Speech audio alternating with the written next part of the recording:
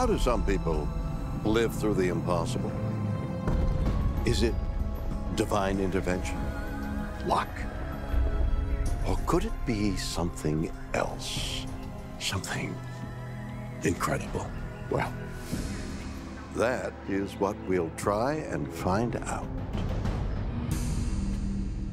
Tucson, Arizona, July 26, 2006. Tom Boyle, a supervisor at a local aerospace company, is driving home with his wife. The couple are about to exit a parking lot when another car pulls alongside them. What happens next actually changes Tom in ways that seem to defy the very laws of nature.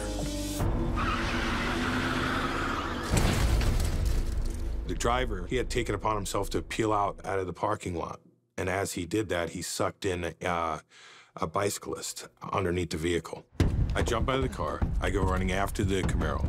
And as I approach the Camaro, there was a boy underneath on a bicycle yelling for help and asking people to please get the car off him. I just reacted.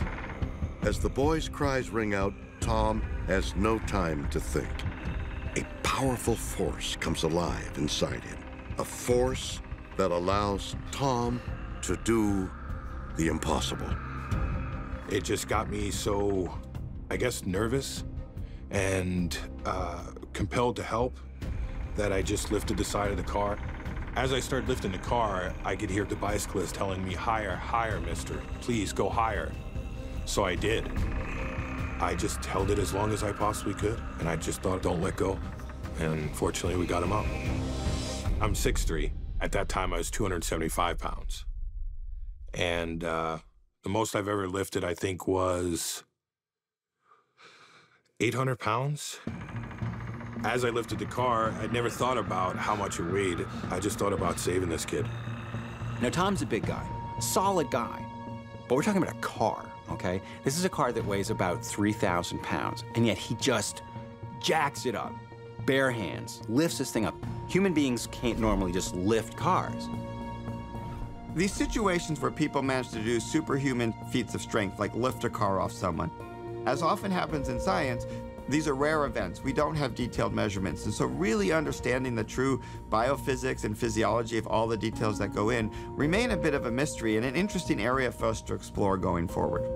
We don't use most of our muscles' capability throughout the day. It's capable of much more, but for some reason only under these extreme circumstances.